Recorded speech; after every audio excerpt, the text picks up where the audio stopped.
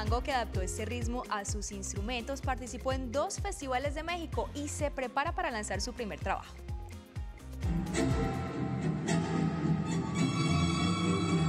El tango es un género emblemático en Medellín que muchos bailan y otros interpretan.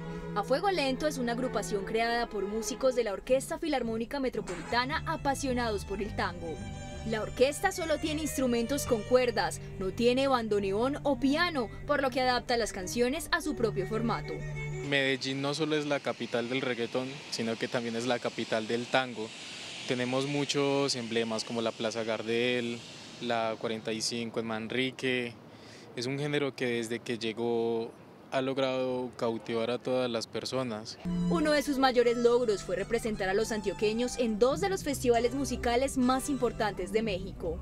Uno fue el Festival Quimera en Metepec y el otro el Festival de las Almas en Valle de Bravo.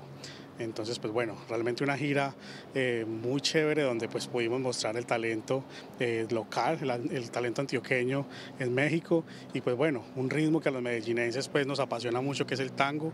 A Fuego Lento tendrá el lanzamiento de su primer disco De la Arrabal a la Comuna, que cuenta la historia de cómo el tango llegó a Medellín.